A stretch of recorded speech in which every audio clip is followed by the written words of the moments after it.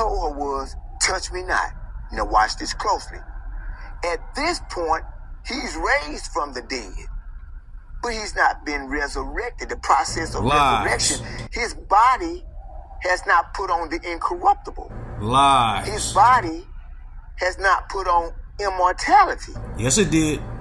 That's why he told her, touch me not.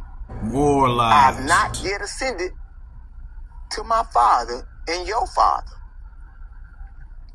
But then he told her, go and tell my brother that I'm back up and alive. Go and tell him.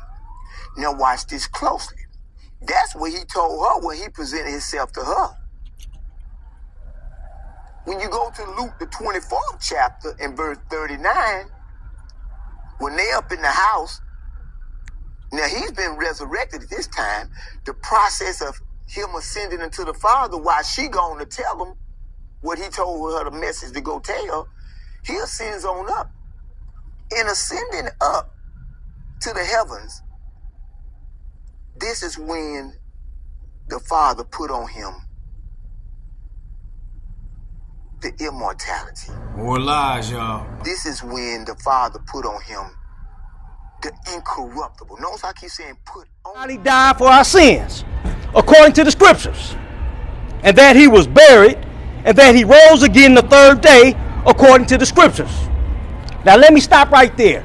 When the Bible talks about Jesus Christ rose again the third day, that's talking about his resurrection. You got old crazy Tom over there, Tom's mumbo jumbo. That ain't nothing but mumbo jumbo. Saying that when Jesus Christ rise from the dead, that's not his resurrection. He talking about a whole separate resurrection. He's a man who think the resurrection is already past. Keep that in mind, right?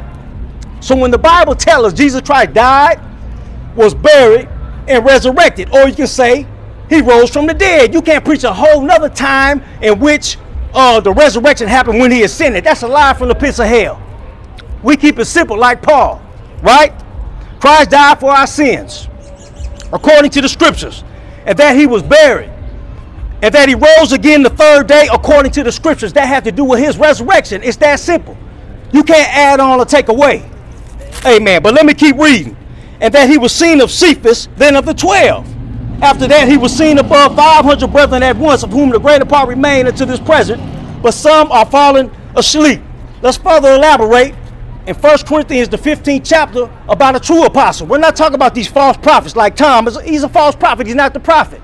He preached another gospel. He preached that Jesus Christ rose from the dead and then he resurrected when he ascended and then he ascended again. Man, that's crazy, right? Let's further elaborate. 1 Corinthians, the 15th chapter, let's start at 12. It says, Now if Christ be preached that he rose from the dead, how say among you that there is no resurrection of the dead? So when Christ rose from the dead, that's his resurrection. Why are you preaching a whole nother resurrection? And you don't even believe in the first resurrection because you believe that already passed. Beware of these so-called individuals who call themselves apostles and prophets. He being exposed again, right? Now, for the second time, let me bump on down here to verse number 15. It says, Yeah, and we are found false witnesses of God because we have testified of God that he raised up Christ, whom he raised not up. If so be that the dead rise not. Well, Tom is a false witness of Christ, preaching a whole nother resurrection, right? Now we testify of God that He raised up Christ, and that is His resurrection. Don't add on, right? First Corinthians, the 15th chapter. I'm still in. Let's go at uh, verse number 20. It says, "But now is Christ risen from the dead, and become the first fruits of them that slept." So when Christ rose from the dead, that's His resurrection. He taught you that He is the resurrection. So how you gonna preach a whole nother resurrection and make him being raised from the dead separate from his resurrection. No, you can't do that. Right? For since by man came death, that's right, by Adam came death, right? By man came also the resurrection of the dead. By man also came the resurrection of the dead. That's right. When Jesus Christ was raised up, that is his resurrection. It's very simple. For the second time, I'm in 1 Corinthians, the 15th chapter. Let's look at verse 42 it says this so also is the resurrection of the dead it is sown in corruption it is raised in incorruption that's right the natural man jesus christ died right That's the natural body. The Bible teaches there's a natural body and there's a spiritual body. When he got up, that spiritual body is the body that cannot die. Tom don't believe that. He said when he got up, he got up as a natural man, and his spiritual body didn't come about until he ascended. That's a lie from the pits of hell. We know the Bible teaches us there's a natural body and there's a spiritual body. That's the immortal body that cannot die or corrupt. Verse number 44 It is sown a natural body, it is raised a spiritual body. So when Jesus Christ was raised up, that's the same as his resurrection. That's called the spiritual body. The, Bible tells us there is a natural body and there is a spiritual body. You don't believe me? Look at 1 Corinthians, the 15th chapter. And that was verse number 44. So let's wind this up. Uh, Romans 6 and 9. Amen. It says, knowing that Christ, being raised from the dead, let me stop right there. That's his resurrection.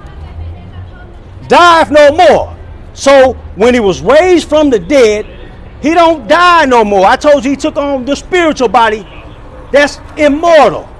He don't die no more. That's simple. Knowing that Christ being raised from the dead dieth no more. Death hath no more dominion over him. So it's that simple. Man, I understand that John the 20th chapter have got a lot of people perplexed. And they want to, you know, discuss about it and it makes a good topic of conversation, right? Because when Jesus said under test me not, right there, cause just because Jesus said test me not, but if you read in other parts of the gospel, they held him by his feet. And that was still Mary Magdalene, right? So you got to put all the gospel together. He told her, touch me not, for I've not yet ascended to my Father. So he's saying that within that time, even before he ascended over there in the book of Acts, that he ascended another time, and that's when he got his resurrected body. No, that's a lie from the pits of hell. Stop adding on and taking away. Amen. The scriptures say what it's saying, it's saying for a reason, amen. Now he says to his father, amen. And to your father, and to my God and your God. See, Tom don't believe that Jesus Christ, according to the scripture, God a God and a Father. That's what the scriptures say. He just told you that the Father is his God. Who you gonna believe, a false prophet or the holy word of God? I don't believe believe the Bible, amen. Amen. So that's it, man. I want to get out of here short and sweet. Until the next time, y'all be blessed.